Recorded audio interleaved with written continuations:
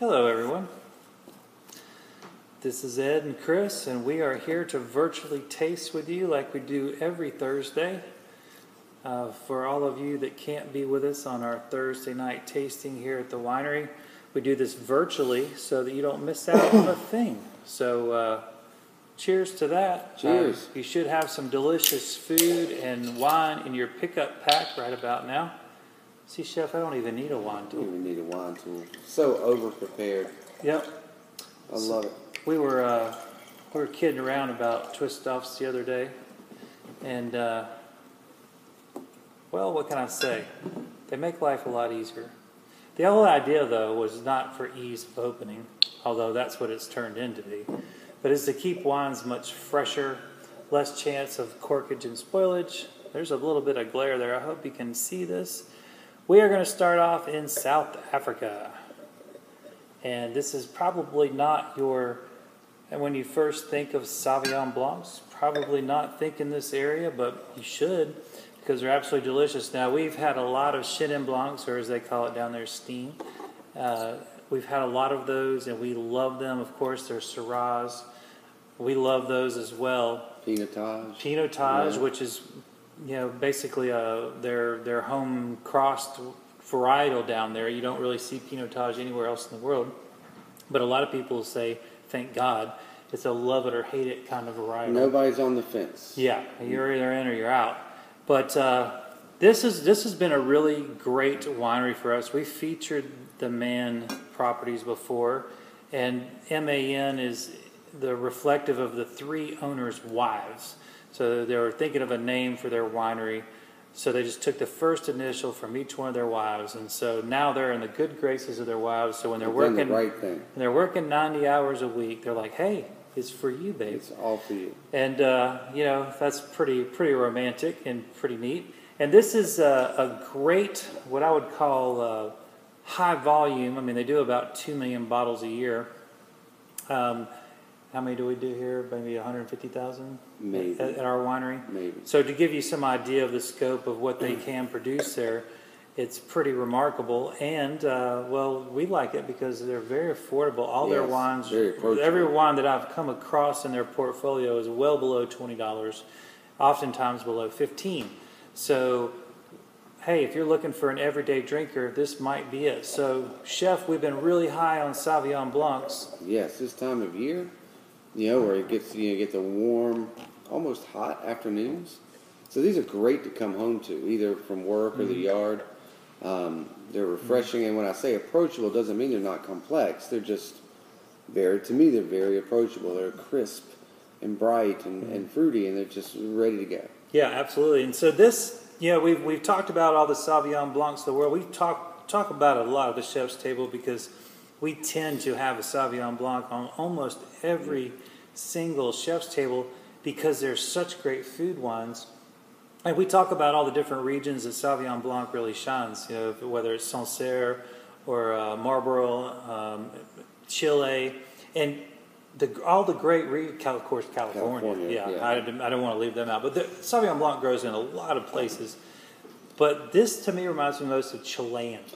Yes. If I- you if I were gonna taste compare the steel. it. Yeah. Yeah. I mean, Yep. Mm-hmm. it's just yeah, that that Chilean steel is always something I always think are reminiscent of Chilean wines. and that greenery. There's uh, Mm. definitely vegetation, green vegetation here. Great citrus. I do like the body on this for for such an entry level price point. The, good the weight. the weight of it is phenomenal. Oftentimes we find that uh, maybe a lower priced Sauvignon Blanc might be a little thin. Can be. It could be a little watery, uh, you know. And again, it, I don't think that even is a can. It can be a negative. It can be a negative at the chef's table, but but not necessarily in a in in a you know if you're grabbing a you know an under twenty dollars Sauv Blanc. Sure. I mean, you know, Yeah, yeah. You, you're ready to Yeah. you're ready to quench your, your Quench thirst. that thirst, and that's what is great about these And wines. so sometimes, uh, you know, the lighter weight is a benefit because you don't want to get bogged down. But I mean, this is is not at the expense of the brightness. I mean, Right. It's just really high end wine. Yeah, this, I think you'll find that this is great by itself. It would be great with a myriad of different foods. And chef, you knew we were going to have Sauv Blanc. You didn't really know what style we were going to have, but what do you think about this? Well, this is uh, this is fabulous. Well, we're gonna we're gonna do a salmon with this, which with a little goat cheese and lemon. Although I'm getting a huge huge lime on this, and so I think the lemon would be. I was worried. I was ready to back off on that because I didn't want it to be lemon on top of lemon.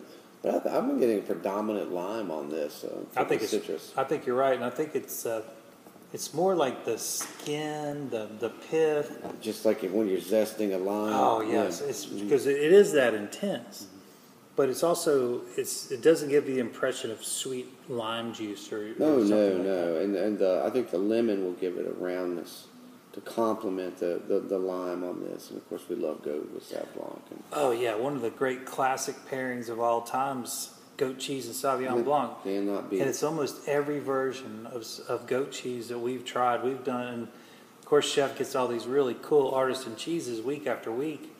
And sometimes it's a hybrid of goat, and that works too.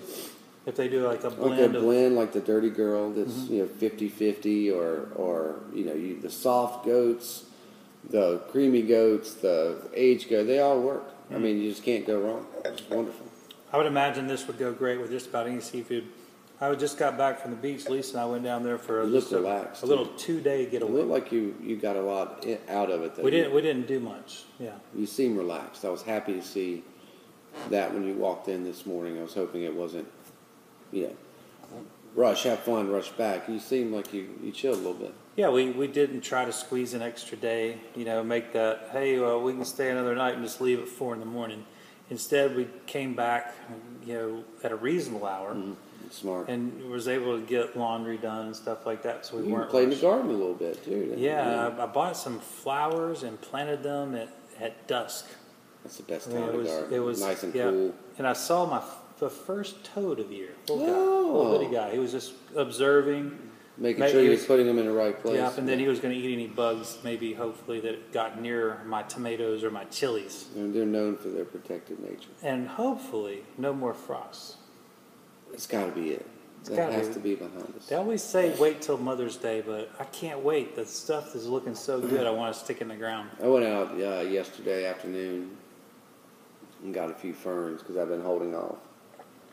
And walking past all those hoop houses, you know, it was so hard to not just go ahead and, you know, spend the kids' college fund on, on flowers. But I just held out, got a few ferns. Like I'll see you next week. We'll, you know, start to do pots and things like that. But it, it's a great time of year. Yes, it is. It's a lot of fun, and we're actually seeing temperatures that are more spring-like. We had a really cool spring so far. Now it's around the money, high 70s, 80, 81 max right Yeah. now. Perfect. Well, and, and cool night. You know, we're getting that breeze at night. It's brisk in the morning. I really hate starting my day off when it's you know, humid and warm in the morning. I love a brisk morning and evening, so it's great. Holy cow. That is delicious. Great value. Great wine. We look forward to selling you this by the case, not by the bottle. Because I mean, spring and summer. I mean, it's Fantastic. just you don't even think about it. Just grab it and drink it. That'll that'll Delicious. that'll that'll leave your refrigerator, your wine cooler very quickly. I guarantee it. Mm-hmm. Well, we got we were uh, we got Mother's Day coming up. God, that's two weeks. Yeah, I can't believe how fast it's coming up. Mom and Joe will be cruising down here soon Nice, to visit, nice. and uh, well, let's see what Hopefully They can stay for a, for a little spell. And uh, they like Sauvignon Blanc, so I'm probably gonna have a couple of bottles of that. Yeah, you'll need to put a few up there. Boy, sitting on the We uh, veranda there with some Sauv Blanc. Oh yeah, we, breeze. Lisa and I went to this uh, killer seafood restaurant that the Bowmans took us to last time we are down. Cool. And so we had to go back. We loved it so much. Beautiful. Has a view of. Uh, it's kind of like a small bay. It has docks Mm. for uh, shrimp boats and personal boats, fishing boats. It's right off the intercoastal there. Yeah, it's beautiful, beautiful stuff, and marshland and big, big old mansions across the way. But uh, I was really surprised to see that they had a Picpoul de Pinet on the Huh. list, And I was going to order something else, but I figured, well, you know what? Since they're going to Reward make that, it, yeah. I was going to reward them making a wine list of one of my favorite varietals. And we've had it here at the winery. We've done it at our, some of our Thursday night tastings in years past, and it's just a wonderful wine. I had it with, of course, oysters on the house. Per- perfect. But I, uh, What a treat. It was bright, just like this man Sauvignon Blanc, and I think if uh, it just reminded me of how much I enjoyed that meal. Then I bet that was a great pairing. We did you do them raw or did you get a little a little butter? I did braised? the uh, the fresh horseradish and the lemon, and it All was day it was long. that's all I needed. all day long. Oh, they had a mignonette, so I had the, oh, nice. the, oh, little, nice. the little shallot, red wine yeah, vinegar. Yeah, that's nice. That was nice. Okay, so since it's spring, why not have a lighter style red? But we're not going to sacrifice flavor mm. because the grape is Nebbiolo. Thank you. Now, let's see if we can get a What a non-clear. great looking label on that. That's really sharp. So this is from the Langhe region. This is, uh, you know, the Piemonte, the uh, north, uh, northern western part of of Italy, and this is where the noble grape Nebbiolo grow, grows. And it's hard to really tell, but this is a lighter style of red by nature. This is what this grape does. And it, you can see through it. It's not quite as light as Pinot, but it's, it's approaching that. Close to it. Like if some of those, um, like that Firesteed Pinot and stuff like that, that, Yeah. that can be this light, but doesn't have that flavor. Though.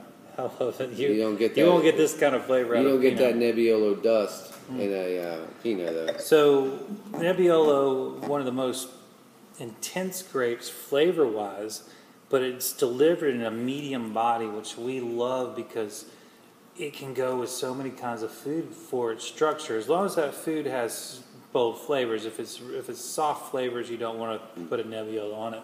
But if you have, you know, a pretty uh, sound flavor profile on a dish, this can go with it. You know, I, I, structurally, it's phenomenal with anything. I would, I would certainly have this with a steak. But you could also turn around and have it with tuna. I was thinking the same thing. It'd be a great tune up. Obviously, one of the classics is mushroom risotto, Mm. and you can kind of get an idea of what this wine can go with. It is delicious, though, and because of its weight, um, it doesn't weigh you down, so you can slug wine like Chris and I do and not feel bloated. It, it make you feel like a pro for a day. You know, and that's what's um, really, really. And even though I, I don't know, still fourteen percent. Yeah. Doesn't drink like it. No. You would never. I mean, um, you would never think it had you know such high alcohol content because it, it doesn't taste or feel like it. So Absolutely, and, and one of it the opens a lot of doors. Oh yeah, and, and so this is uh, one of my. It's you know people ask me all the time. So Ed, what's your favorite wine? I, yeah, I, I don't really have a favorite wine. I'll be honest with you. I love so many wines, but boy, Nebbiolo the grape. It's probably. It's hard to say that there's a better grape in the world, but I, I, I'll listen to anybody's argument. I do love Cab and Merlot and Pinot and Sauvignon Blancs and Chardonnays, but Nebbiolo has a oh, Grenache. We do like our Grenache. Uh, it's hard to beat them. But here we go. Uh, another. Tempranillo too. I mean, oh yeah, Tempranillo. But this grape belongs, in my opinion, the top of the list of all varietals. Well, and it, and it also, uh, to your point, and, and I'm not saying other wines do, but I mean like you can try ten neb- different Nebbiolos, and the, and they're they're they are truly ten different wines. True. Truly ten Yeah, yeah. different wines. You know where you could have ten cabs and they all taste like the same. Particularly if they're from California. Well, that's what I'm saying. I mean, yeah, but you know, there's, there's Yeah. regions nowhere near the size of the growing area of, That's true. of California. Yet it has such diversity. I mean, you just drive down the street and it tastes like, you know, it, it couldn't be more different. yeah, I would totally agree Or with walk you. down the street, whatever. I totally agree. Uh, this is uh, certainly a terroir-driven grape, a, a varietal. Um, this is you know, this we happen to have the 17 here, and I, I just think that this is it, it has a a femininity to it, but then it also has I don't know, it's it kind of comes on late with the kind of it has a little rustic finish, I would say. It does, and you get that classic dust too that I think I always uh, think Nebbiolos have. Tons and tons of tannins, but they're Mm. hidden. They're dusty. hmm They Mm. come like now, I'm like got the Yeah. cotton. on. Mhm. So we we have incredible vegetality and earth on the nose. Uh, even rose petals, probably dried. It's it's really beautiful hibiscus nose. Hibiscus, Yeah, I yes, mean, I love that call. That's a great it's call. such a beautiful wine. This, I love this. this is this is if if wine were a perfume, this would Mhm. Be very. This would be a great description of it. It's like listening to a a great classic classical piece too. I mean, because it has so many Yeah. moving parts and There are, there's a but lot they're all on. Mm-hmm. beautiful. They're all flowing and beautiful. They're not shocking. You Right. know, we're not talking Yeah. about a symphony. We're talking about a Yeah, this is not a you know, death just metal piece. band. No, no, no. this is a uh, this is art for sure. Well, not the death metal. But, True. You know what I mean? I do. This is a, this is a beauty, and I think that you're going to love it. Also, you know, Nebbiolos do have the ability to age.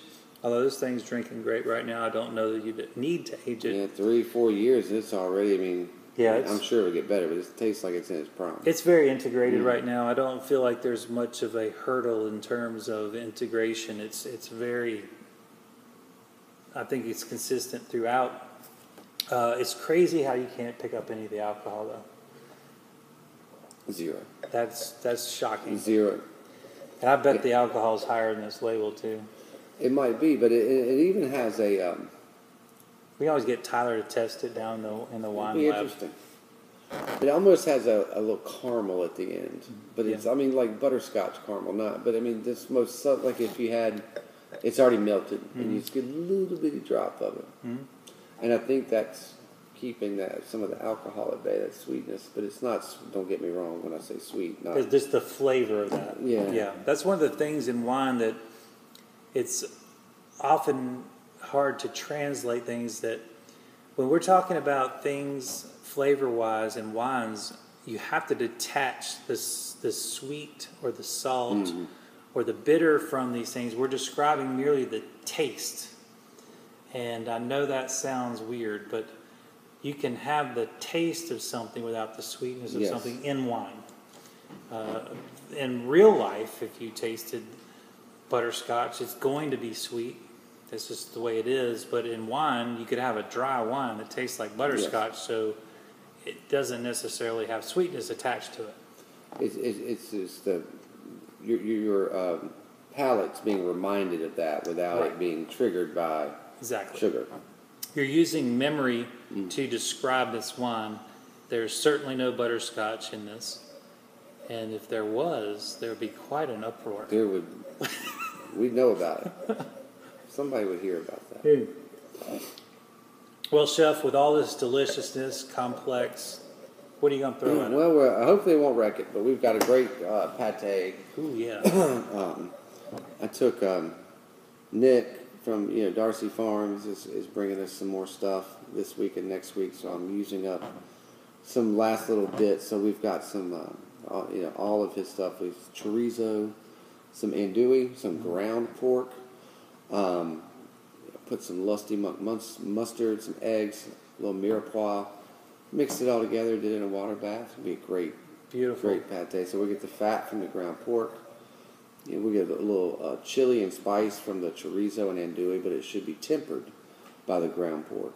Uh, and then, of course, the vegetation, which will, you know, should brighten it, you Oh, know, really yeah. complement the, the vegetation we're, we're, you know, we're getting on this. So I think it's going to be a winner. I I, it's gonna be a I, winner. I, I am getting like fresh cut root vegetables Mm-hmm. on this nose. And just to go, to go back to the pork, you said just ground pork unseasoned. That to me, you know, Nebbiolo seems to go great with all pork. That's one of the things that it? Isn't it wasn't until you started listing off all those porks. I'm like, I never really thought about how Nebbiolo goes so well with so many pork dishes. It's crazy.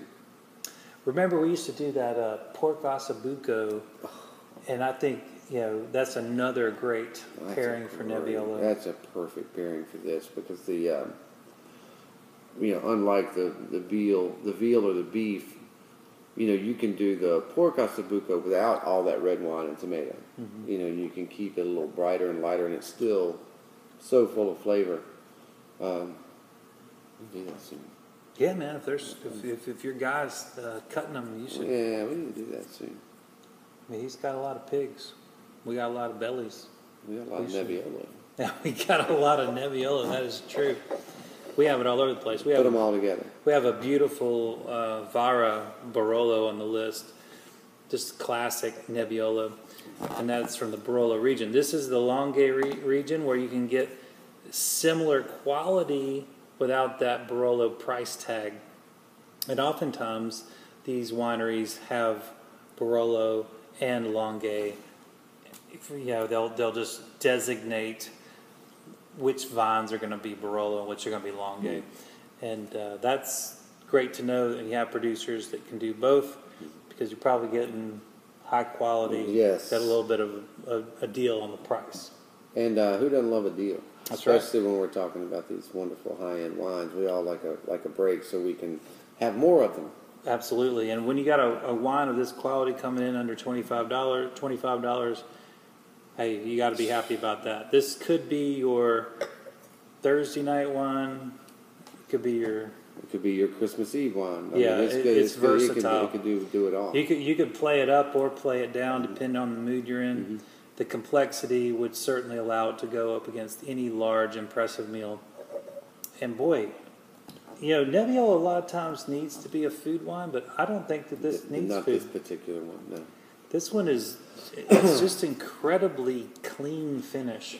This this does fine all by itself. And even though we're heading in, this is prime mushroom season. We're kicking into morels, and we're gonna be getting the chanterelles, and then you know, you know I can't believe it. I've missed those chanterelles. Mm. Gosh. Well, they're not here yet. I know. Got two months probably. Right? Yeah, I mean, you know the morels are just coming out now, so Yeah. You know we're, we're gonna we're gonna have a great mushroom year. But um, Boy, it was nice getting all those truffles over the winter though. You had truffles like every other week. and- literally every other week, Mm-hmm. it, it was a banner year for truffles, uh, the white and the and the darks. And we got 'em in Italy and France and all over, just banner year. Yep, that was that was a a, a truckload. Mm. Well, also, you know, we do have our. I should mention that we are going to do a buffet Yes, for Mother's Day, which is in a week and a half. Hard to Crazy. believe. A week and a half. Yeah. yes. Well, yeah, a week and a half. God, so much to do. yeah. Yeah, a week and a half. So anybody out there that wants to join us, Please do. we're going to be open from eleven to two, and we would love to see you. We'll have a glass of wine if you want. Absolutely, we Yeah, will. and we'll certainly have lots of great food. Be looking for that menu to be posted up anytime now. We had a few little last minute things we wanted to make sure we were available before we stuck it out there, and then you know distribution has been very difficult. Uh, you know, well, many of you know the the troubles that I've had trying to get some of your wines that are certainly from overseas is the main issue there. But domestically, food has been a big distribution issue. Well, there's a lot of glitches. There's a lot of, um, and there's a, it's a, they're complex answers, and, you can, and it's not one answer to why that's happening and why it's happening. And well, what am I to Don't do? mind if I do. Thank you. Uh, so it, it's not as it's not as simple as saying this or that or that. There's a lot of things at play, and the interconnectedness of all these things with a, a multitude of challenges, you know, going around um, all things food. You know, just Well, I think we want to make sure we have what we say we're going to have, and we you know we might miss one thing, but we'll if we do, we'll replace it with something of equal do. or better value. you know, one of the things is, you know, the whole world just reopened, and you know, businesses are shorthanded all over the place, and People don't apply. there's not people out there that want to work. So, boy, we saw when we went to we went down to Winston last week. Those restaurants are struggling. struggling. Uh, you know, and every every business, every small business has a help wanted sign. Yes. certainly in our town. And and I'm, and I'm sure it's in most towns across America, it's just, it's, the reopening is, is a challenge, and it's, so distribution, even within the state, you know, we're not talking about hauling stuff from California here. We're talking about, because most of your food is very North Carolina, Virginia. Oh, I mean, yeah, and, and it really is. Everybody's struggling. Like the, well, you know, when we just talked about Nick, you know, he's, you know, he's got some, you know, a couple of animals going in that he had to make an appointment for last June. Wow. So long he's been waiting for a spot at the processor. Yeah, that's another thing. And Everybody's backed up. You have to plan way in advance, and you know we talk to people in shipping too. I mean, even like because trucking is on and off. I mean, a lot of times you'll ship things from Charleston to Norfolk Right. rather than put it on a you know 15, 18 wheelers, and like you know the, the the backlogs at these at these shipyards are just staggering. Mhm. And um, anyway, logistics and distribution are a mess right now, and maybe maybe be for a while. Yeah, it's it's it's on a local, regional, and nationwide, Yeah. global, and so we are we we've come in quite a bit of struggle in that department, but I think everybody's understanding, hopefully, that we're doing our best because all we want to do is put our best foot forward. We do, and we're luckily we're small enough to we're a bit more agile than probably a lot of our counterparts. Mm-hmm. That we're able to, we can change the menus, you know, every day. We can, we can, Sure. we can. We're, we're, we're fairly agile with the size of our staff, but we can't grow. That's one thing we we don't have we, time. We can't grow. Well, we don't have time, time, and we can't grow. We have we have the status quo, um, which is a good one. Mm-hmm. Yeah, I'm not complaining, but uh, you know, it seems that the, the prevailing wisdom is that when we had our all of our shutdowns and layoffs last year, um, that for the most part, all the people who were furloughed are not coming back to the industry, aren't coming back to food service or to you know, the front of the house or back. There's not, and people are the people who New York and Charlotte and far everywhere you go, they moved, and you know they don't want that instability. They and so they're just that workforce is not out there.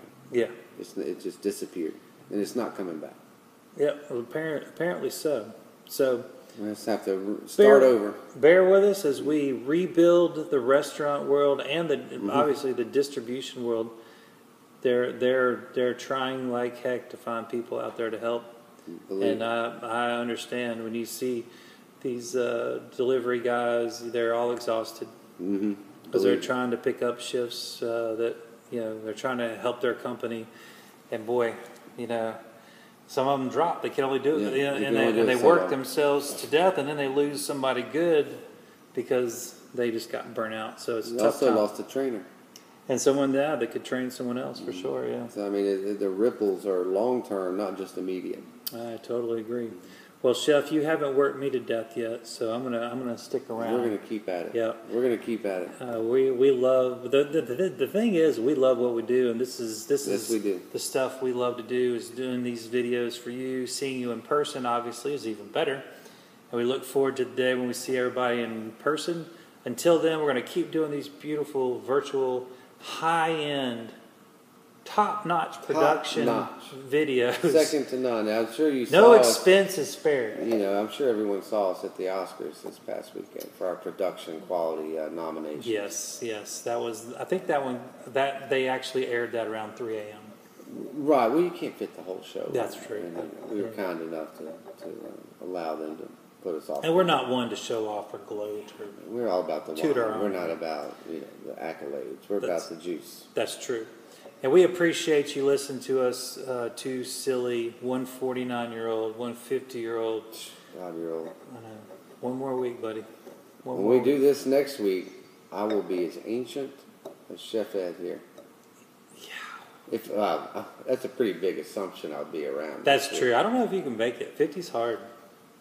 It's not for the weak. No, it's not. You gotta, you're gonna have to toughen up. I'm gonna have to dig down. dig down.